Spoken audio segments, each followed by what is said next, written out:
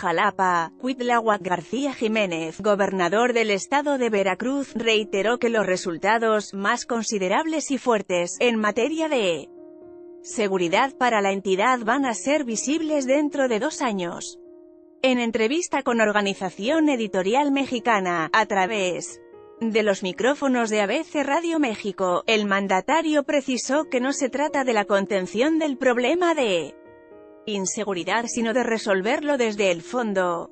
Hemos dicho que ir a fondo del problema requiere tiempo por las décadas de abandono y de contención de inmediato se ven los resultados. Las cifras han ido bajando, poco a poco y seguirán siendo más abajo hasta tener niveles ínfimos. Habitantes de Veracruz queman vivos a cuatro presuntos secuestradores. Precisó que, aunque ya se integró a los municipios de Jalapa y Coatzacoalcos al Plan de Seguridad Nacional del Gobierno Federal, una vez que se encuentre en marcha la Guardia Nacional será la encargada de apoyar en la seguridad de la entidad en tanto que se logra tener una policía estatal confiable.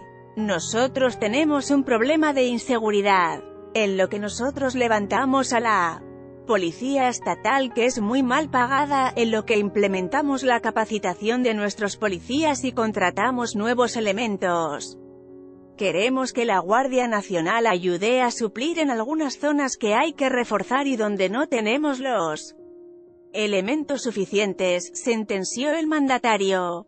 A unos días de cumplirse los primeros 100 días de gobierno, el mandatario veracruzano confirmó que mantiene el firme compromiso de atender primero los pobres y de gobernar con base en un diseño de prioridades. Ante la falta de recursos económicos, precisó que en este primer año de gobierno la prioridad es la cuestión social y el respaldo a las personas más desprotegidas. En el segundo año, dijo, la prioridad va a ser infraestructura hospitalaria, educativa y carretera. Y en el tercer año, el recurso se enfocará en educación y cultura. Esas son las prioridades. Sin embargo, Cuitláhuac García Jiménez reiteró que este plan no implica la desatención del resto de las necesidades sino que contempla la inversión del capital extra en estas áreas consideradas como prioritarias. Por cuanto hace al turismo en Veracruz, el gobernador dio a conocer que para este año, se promoverán de manera fuerte cuatro eventos, en marzo, la Cumbre Tajín.